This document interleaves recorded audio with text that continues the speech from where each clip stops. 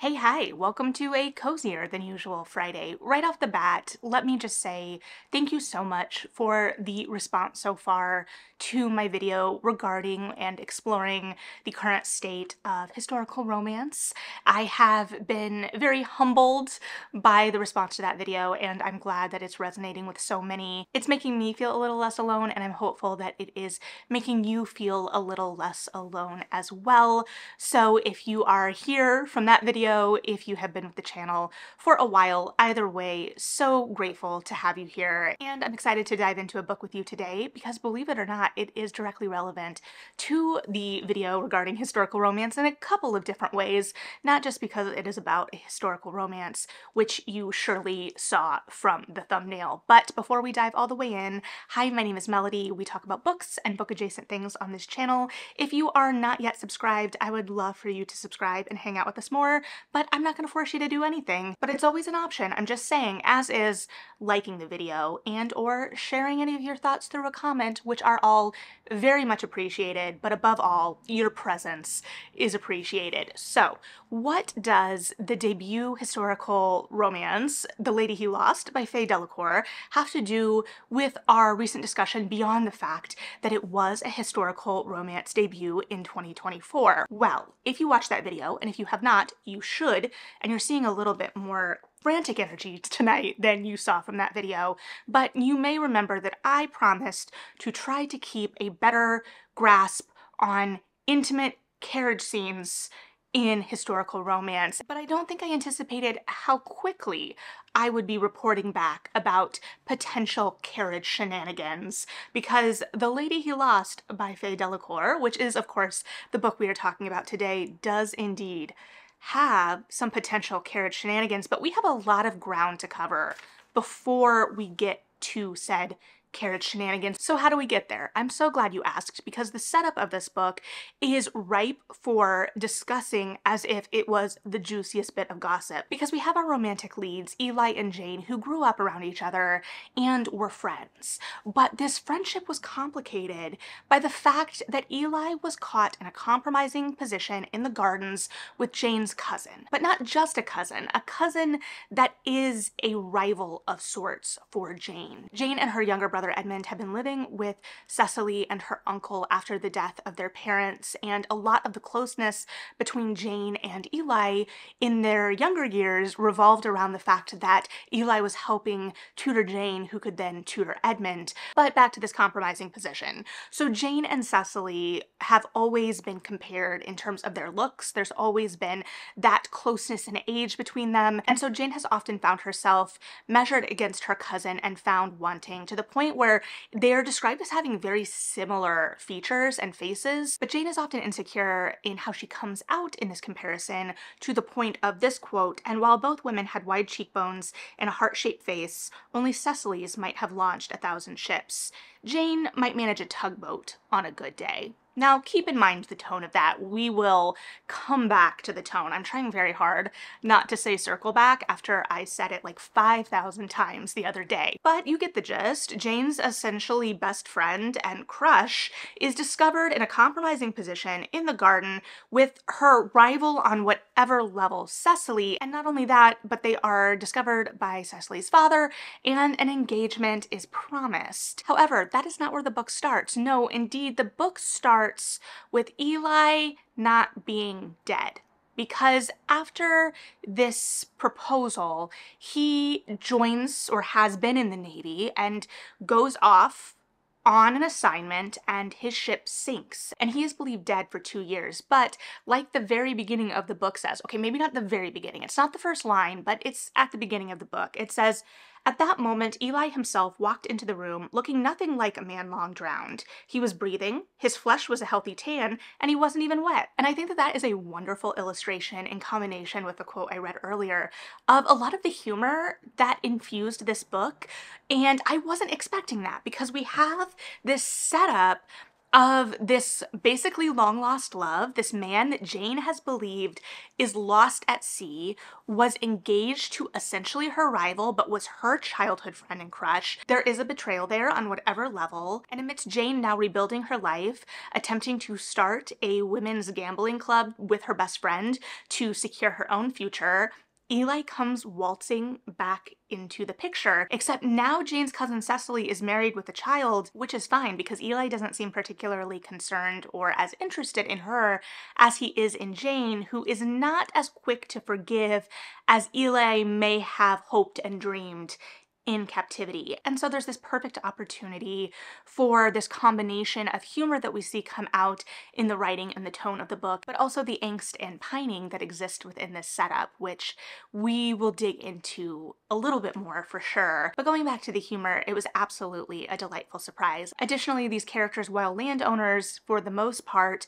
they are not dukes or earls or viscounts in the traditional sense of historical romance more generally. And so I really hesitate. I don't really like comparing historical romance to Jane Austen because it often feels reductive and there is a lot of expectation that goes into that. But at the same time, some of the kind of explorations and the classes we were exploring in this novel did feel very reminiscent. The whole thing with Cecily is now she has a titled husband, and so now she is a lady Cecily, and how big of a deal that is. And just some of the characterizations of these people, including in particular Jane's uncle, who was an absolute delight because he is so focused on Jane and Jane finding a suitor when it is the last thing on her mind, and she's actively working against that aim for most of the book until, of course, Eli comes back into the picture. But even then, she's really working against the aim. But Bertie has this charm to him, even when he is the chaperone that forces some hands, as he is Cecily's father and forced that engagement.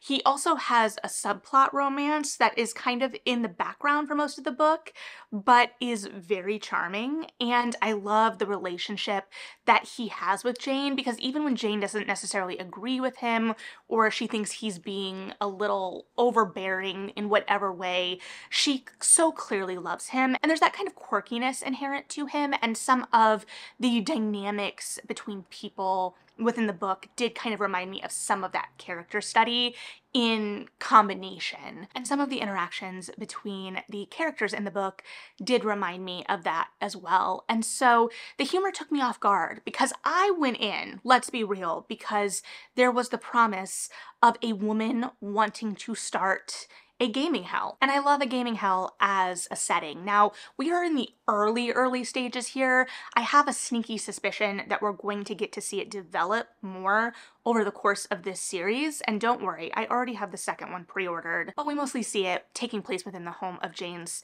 best friend within this book.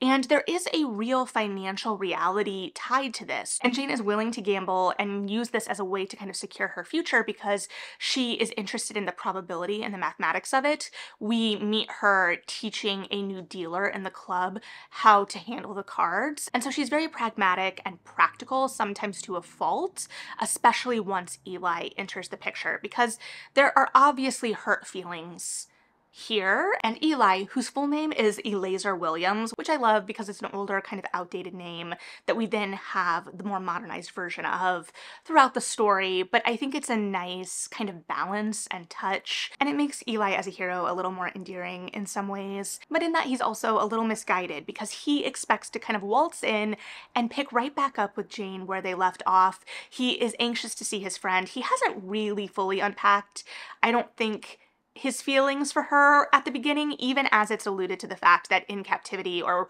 while he was gone, which is a whole mystery in and of itself, that he did talk about Jane. And the mystery of where he was, was he captured by pirates?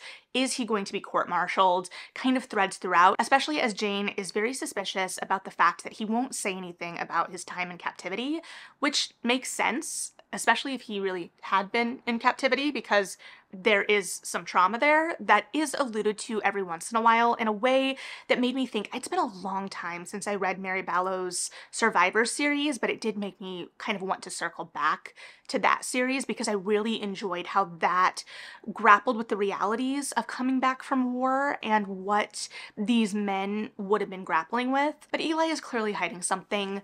Jane thinks he's hiding something. She plants the seed inadvertently that he may be hiding something that leads to some consequences down the line that I don't know fully play out emotionally in terms of really facing that between Eli and Jane in particular. And Eli and Jane and the fallout of a lot of these emotions is really interesting. So we end up getting them closer together because of course Jane wants nothing to do with him. But one, he's invited into this gaming association because he will draw more ladies because he is the main character of the moment. Everyone wants to know his story. Everyone wants to meet him.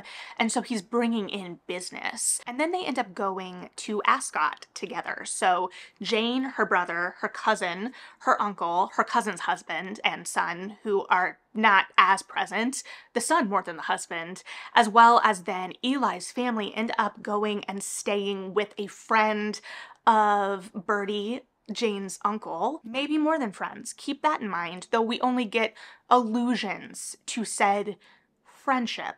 But this puts them in close proximity. In some ways, would it count as a house party because they are away from home, in tighter quarters, there's a whole scene of them playing parlor games? Yes, probably technically. However, for me, I would argue, and again, this is just my taste and how I have come up as a reader, I would almost argue that they are too close for it to be a house party because there is this constraint of how on top of each other everyone is. Eli is rooming with Edmund, Jane's brother. Jane is rooming with Eli's sister. And so there is a lot of maneuvering of both of these characters in this proximity because they are always around other people. So this is obviously the opportunity to push these two together. But what does that look like logistically? Well, in at least one case, after they have warmed up to each other, or more accurately, I should say, after Jane has warmed back up to Eli, that leads to them sneaking away from a ball, a party, a dance into a carriage together back to the house. Enter said carriage shenanigans, which had a same kind of like frenzy and early discovery between two long-standing characters as we saw in Bridgerton season 3 and even as the relationship between these two characters develops as they're drawn to each other even as this history is still lurking in the past and it's interesting because I think it establishes that emotional weight really well especially at the beginning of the book and I think that the humor that exists in the book is a really nice balance with it. It doesn't undercut it in any way. However, as the book nears that climax where we really have the opportunity for a lot of pining, a lot of angst, a lot of kind of emotional turmoil. We love a little emotional turmoil every once in a while, especially as these two have kind of had these secrets and these things unsaid lurking in the background. Jane feeling she was passed over for her cousin and then having to grieve Eli in private and reckoning with what this means and her world being kind of upset once again and whether she can even let herself open up to him and even if a connection does form between the two of them, will she only ever be seen as second place to her cousin in the eyes of society? Would marrying him mean giving up all of her dreams? Meanwhile, Eli has been keeping some secrets about the realities of that match with Cecily, as well as then facing the fact that Jane's suspicion and Jane's kind of snarky, kind of biting words, though society bite, led to some suspicion against him that could potentially cost him his career. And so there are larger repercussions to some of the words she's saying and her recognizing what the weight of those words are. And so all of that is going on and laid out. And I like the setup of it, but I do feel at a certain point, especially in the second half of the book, I feel like we pull back from it a little bit and we don't fully explore all of the emotional messiness, to use a term I really haven't used in a second, but it feels like it could have pushed. And to be clear, I enjoyed what we got, but if I were going to heighten it just even a little, I think we really would have pushed a little bit more into that emotional turmoil and really let those characters feel those feelings. It's almost like an acting beat where you're pulling back just a little bit and you really just need to push through it to really get to the full height of it. At the same time, I do like some of the heights we did get to. For instance, there is a moment in particular between Jane and her brother that I thought was just handled so, so well. And it was kind of a moment of realization for Jane about the world. And it didn't really feel fully resolved emotionally. I do think that that will circle back in later books potentially i guess we'll see but i thought that that was done really well and i do like the sweetness between eli and jane that develops over the course of the book and the fact that both of them are feeling these feelings which we know because this is written in my beloved historical third person point of view, third person dual point of view. But one thing I really appreciated about Eli too was his experience level and the exploration of his experience level in relation to the intimacy in this book, in that he is very interested and focused on making Jane feel good, but it becomes evident in the book that he may not be as experienced as Jane believes and as many would go in expecting a romance hero maybe to be. And I like that it kind of engages with the challenges of the patriarchy for everyone in those moments and the expectations that are had by men and women in relation to intimacy and how people are viewed for their experience or lack thereof by both sides. And I just really enjoyed having a hero that was a little more enthusiastic in certain moments and maybe his experience level was a little different than many. And I thought it was charming and I enjoyed the energy in some of those more intimate scenes as well because of it. It felt a little more playful in parts. It of course revealed more about some of these characters' more inner feelings as these scenes always do. And of course, it was spicy, but in a charming way. I don't know how to fully explain it, but I enjoyed the charm of it. And so overall, I think I would say about this one, I did enjoy the charm of it. I thought that the humor that it brought to the table was a delightful surprise. I thought that it set up really great emotional and character and plot beats. I don't know that it fully realized all of them, but I'm saying that with a heavy caveat because while it is a slight critique, it didn't diminish my enjoyment of the book by any means, especially for a debut.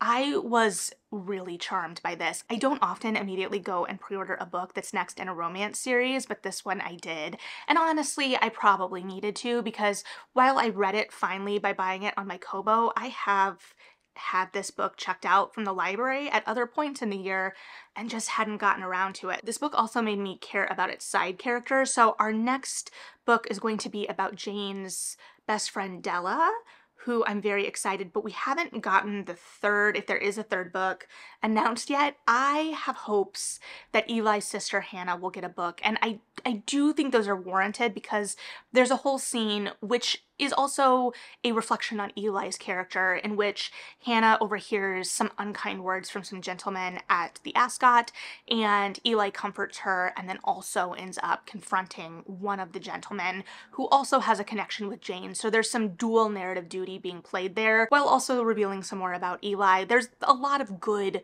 plotting at play there. So even when I say some things, like maybe the actual reveal of Eli's story felt a little anticlimactic and some of the emotional beats could have pushed a little further. I think that those are really small, just kind of polishing critiques, especially, like I said, for a debut. And so I want Della's book and I want Hannah's book, and I'm sure we'll meet others. It is interesting because usually I have a pretty good idea of who the couples in subsequent books are going to be. And this go around, I don't have a firm grasp on the pairings. So I will be very interested to see how these couples continue to pair up and play out in the subsequent books. But in the meantime, I would highly encourage you to pick up this book. I think it's a lot of fun. You will get subsequent gems such as Really, what were gardens even for except to compromise young ladies at house parties? Everyone knew that. Or, you have to be willing to elbow a few guests out of the way, Eli said. It's how they make sure the punch goes to those who need it most. So if you like Bridgerton for Quinn's quippiness and the sharpness of her dialogue, I think that this would definitely be up your alley. So if you have not read this, get on it. If you have read this, I would love to hear your thoughts. But as always, thank you so much for hanging out and being interested in mine. Like and subscribe if you feel like it. Read something good. And yeah, bye.